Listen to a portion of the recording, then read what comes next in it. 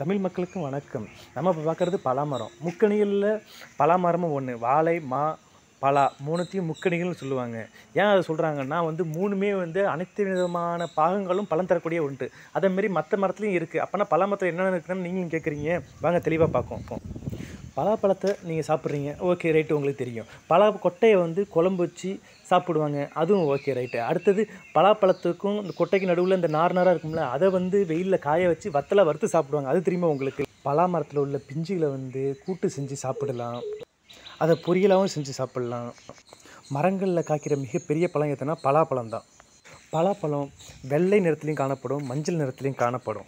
பலாமரம் வந்து நிறைய விதத்தில் மருந்தாகவும் பயன்படுது. ஆக்சுவலி சொல்லப்போனால் நீங்கள் பழங்கள் அதிகமாக சாப்பிட்டுட்டு இருந்தீங்கன்னாவே உங்களுக்கு நோய்கள் நிறைய விதத்தில் வராது. அதுதான் உண்மை.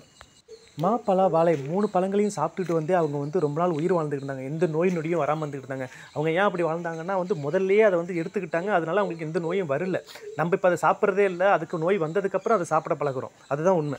கிராமங்களில் பலாமரம் நிறைய காணப்படுதுங்க. அதை மோஸ்ட்லி நீங்கள் கிடைக்கிறப்ப வாங்கி சாப்பிடுங்க. அது வந்து உடம்புக்கு ரொம்ப நல்லது.